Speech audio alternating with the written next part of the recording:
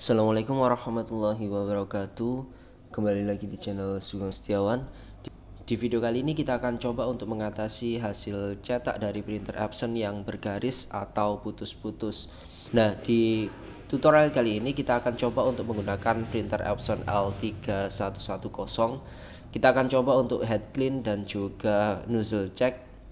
Oke langsung saja kita mulai tutorialnya berikut ini Pertama kita masuk di bagian start terlebih dahulu, kemudian kalian ketikkan control panel. Kita masuk di bagian control panel seperti ini. Oke, kemudian kita pilih yang di view device and printers seperti ini. di sini ada beberapa printer yang sudah terinstall di komputer ini.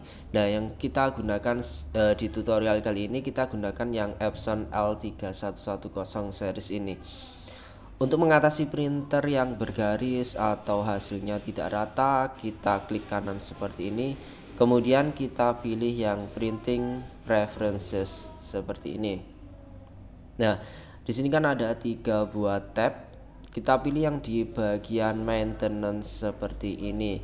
Nah, kita akan coba untuk melakukan nozzle check terlebih dahulu baru nanti kalau hasilnya masih bergaris kita akan coba untuk melakukan head cleaning.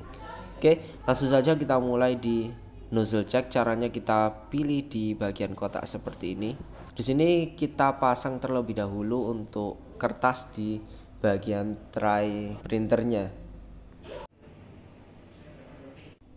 Oke kemudian kita pilih di bagian print seperti ini untuk yang hasilnya masih bagus di sini garisnya itu nyambung semua. Kalau perlu cleaning head berarti dia ada lubang-lubangnya seperti ini. Oke kita coba uh, lihat hasil cetak dari nozzle checknya Oke ini adalah hasil nozzle check dari Epson L3110 Dia masih nyambung semua ya Jadi dia tidak perlu untuk melakukan head clean. Tapi khusus untuk tutorial kali ini kita akan coba untuk melakukan head clean sekalian. Pokoknya hasilnya harus seperti ini ya Dia nyambung semua. Kalau ada bagian yang putus Kalian lakukan head clean aja seperti tutorial yang kali ini Oke, untuk melakukan head clean kita pilih yang di bagian sini, kita klik di clean.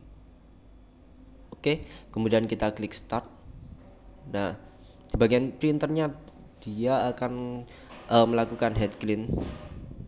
Kalian tunggu sampai proses yang ada di garis ini selesai ya. Oke, untuk mengecek hasilnya apakah sudah sesuai dengan keinginan kita atau belum, kalian bisa klik di print nozzle check pattern lagi. Nah, kalian pasang kertas lagi ya kayak tadi. Dia akan ngecek di nozzle printnya. Kita klik di tombol print seperti ini. Oke. Kita lihat hasilnya sampai dia nyambung semua seperti ini. Kalau hasilnya sudah bagus seperti ini, kita bisa langsung klik tombol finish seperti ini dan bisa diklik tombol OK. Baik, sekian tutorial bagaimana cara mengatasi hasil cetak printer Epson yang bergaris atau putus-putus. Jika kalian masih punya pertanyaan, silahkan ditulis di kolom komentar. Jangan lupa untuk klik tombol subscribe untuk mendukung channel ini agar semakin berkembang.